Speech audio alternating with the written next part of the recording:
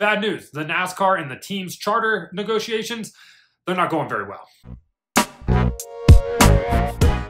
NASCAR and the teams just can't get things together. They're bothering me while I'm on holiday, as the Europeans call it. So NASCAR and the teams, they they can't come to an agreement on charters, at least not yet. So they had set a deadline for the end of December to get this deal done. That passed, so they decided to extend it until the end of January. Well, now it's February, and they still don't have anything concrete. In fact, according to sources, they're not even close. So teams, of course, want a bigger chunk of that TV revenue. Right now, they currently receive 25%. NASCAR says it's more like 35-ish percent, and teams said at most it's like 30%. Teams want 50% of that TV revenue now. Currently, tracks receive 65%, teams receive 25%, and then NASCAR receives the rest. Teams aren't very happy with that. So they would like that to be changed and they want more money because they don't want to be so dependent on the sponsorship model because at the end of the day, if you're bringing in, you're the show, you should probably get paid more. At least that's the team's thinking here. So right now, they're pretty far apart on that. So we'll see what happens. The other sticking point is the, whole topic of charters. So teams, of course, have charters. It guarantees them a spot, guarantees them prize money at the end of the year, and they're very valuable at this point, as we found out from the Live Fast charter, which was the worst one in NASCAR, still sold for $40 million. Team owners love the idea of a charter because it becomes a financial asset for them. They can turn around and sell. They have something. They have equity within their team. They're not having to sell the entire team for pennies on the dollar now. You have this one of 36 guaranteed spots in the NASCAR Cup Series field with guaranteed money. So when people want to come along and join the sport, they have to buy one of those because it makes the most financial sense. And we've seen a lot of teams, you know, ask around. They're either selling, they're trying to buy, and right now nobody's going to sell because we don't know what's going to happen with the charters. The really interesting thing about this, though, is with no agreement in place, teams are technically allowed to negotiate as a unit with another racing organization or start their own series. Think of the IRL CART split. You could have that in NASCAR. Do I think that's going to happen? Happen? Absolutely not. I think they're going to come to an agreement. It's just going to take some time, and there's going to be some hurt feelings, more than likely. But I don't see or envision a NASCAR split. That would be detrimental to all stock car racings. Uh, actions detrimental, if you want to, you know, tie Denny Hamlin into this, who's been pretty outspoken about this right here. And he said on his podcast this week, before this news even came out, that teams in NASCAR are very far apart which it definitely seems like they are. And that's unfortunate because now we're going into the season with this hanging over everyone's head. NASCAR wanted to have this deal done by the Clash, if not the Daytona 500. That's just not happening now.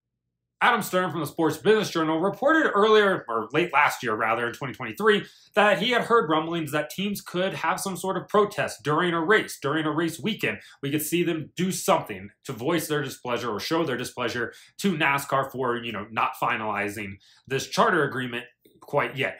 Honestly, again, I don't think that's going to happen. That would once again be detrimental to NASCAR as a whole and to the teams, especially the people that are paying to be there to watch this race. I don't think that they'll have some sort of protest during the race, but I could see them having something outside of the race. What that is remains to be seen. I'm who, who knows what they would even consider doing. But at this point, they're not close on the charters. So there's another option too. If they don't have an agreement by December 31st, and granted, that is literally 11 months away, NASCAR does have the option to pull all of those charters back from the teams, basically saying that they're worth nothing then, or that the owners don't get anything from them.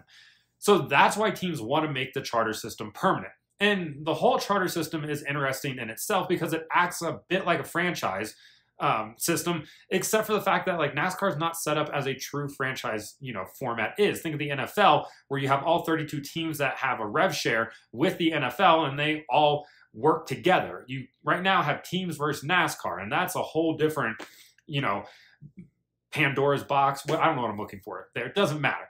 You understand that it's completely different, and it's an interesting way to do business at the end of the day. So NASCAR and the teams are still at ends. Who knows when this is going to get done? I have no doubts that it will get done. Like I said, there's probably going to be some hurt feelings. Some people are going to get what they want, some aren't going to get what they want. That's how negotiations go. But to have it be like this going into the season, that's a bad look for everybody because nobody can be happy about that at all. They wanted to get this done. It's not done. Teams want more money, and I don't blame them. Once again, they're the show. They should be getting paid a substantial amount of that TV revenue share, definitely more than 25%. When you have teams getting, or tracks rather, getting 65%, and NASCAR owns half of those tracks, you can see where teams can might be a little bit upset about that. So we'll find out what happens here and if they're going to get this all figured out. But for now, things aren't looking great. And like I said, there's some drastic options that are available. Starting your own series, breaking away, negotiating with somebody else. Granted, NASCAR owns the two biggest national touring series between NASCAR and ARCA. So who knows what's going to happen. But for now, if they can stop bothering me while I'm on holiday, as they say, that'd be great. This whole green screen background, which I just screenshotted from one of the other videos, worked out perfectly. I'm going to keep this very handy. So let me know in the comments what you think about this. Like and subscribe to the channel. Follow me on TikTok at BrakeHard, Instagram and Twitter at BrakeHardBlog.